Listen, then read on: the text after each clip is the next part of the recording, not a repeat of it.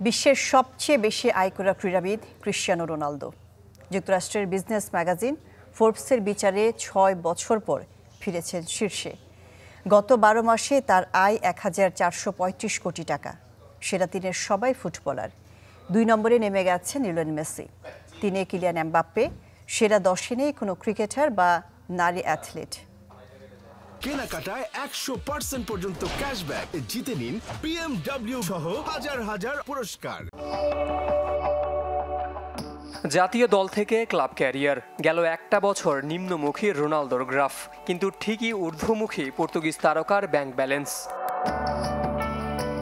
মার্কিন business magazine ফোর্বসের মতে, গত বারো মাসে বিশ্বের সবচেয়ে বেশি আয় করা অ্যাথলেট সিআর সেভেন। এ সময় একশো ছত্রিশ মিলিয়ন ডলার আয় করেছেন পর্তুগিজ তারকা, টাকায় চোদ্দশো পঁয়ত্রিশ কোটি। দু নম্বরে থাকা মেসির সঙ্গে ব্যবধানটা ছয় মিলিয়ন ডলারের। শুধু বেতন বাবদ ছেচল্লিশ মিলিয়ন ডলার আয় হয়েছে রোনালদোর। দেড় মাস বেকার না থাকলে অঙ্কটা আরও বাড়তে পারত। বাকি নব্বই মিলিয়ন ডলার এসেছে বিজ্ঞাপন, ইমেজ রাইট, স্পন্সর, ব্যবসা ও সামাজিক যোগাযোগ মাধ্যম থেকে। ছয় বছর পর ফিরে পেয়েছেন সিংহাসন। সব মিলে ক্যারিয়ারে তৃতীয়বার ফোর্বসের বিচারে অ্যাথলেটদের তালিকায় সবার উপরে আল নাসর তারকা। তালিকার দু নম্বরে নেমে গেছেন আর্জেন্টিনার বিশ্বকাপ জয়ী অধিনায়ক লিওনেল মেসি, যার আয় একশো ত্রিশ মিলিয়ন ডলার। পিএইচজির বেতন থেকে পঁয়ষট্টি মিলিয়ন ডলার এসেছে, সমান পঁয়ষট্টি মিলিয়ন ডলার মাঠের বাইরের আয়। সেরা তিনে সবাই ফুটবলার, আরেকজন কিলিয়ান এমবাপ্পে। ফরাসি তারকার একশো বিশ মিলিয়ন ডলারের একশো মিলিয়নই এসেছে বেতন ও বোনাস থেকে। বাকি ২০ মিলিয়ন ডলার মাঠের বাইরের বিভিন্ন খাত থেকে।